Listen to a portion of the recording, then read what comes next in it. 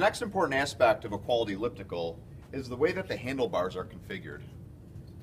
90% or 95% of the ellipticals that are on the market today have arms that move up top here. Now you can choose to use the arms more and the feet less, or use the feet less and the arms, or to keep your hands here on the stationary, stationary bullhorns.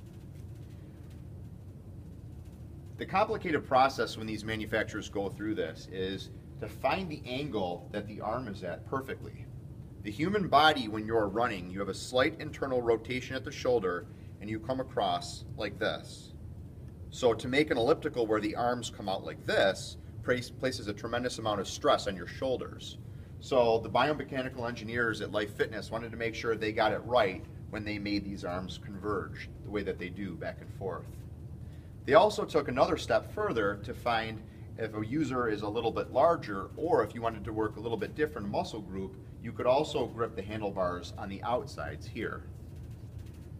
Whatever you choose to do, make sure that you're doing it comfortably, and with all these options, chances are you will.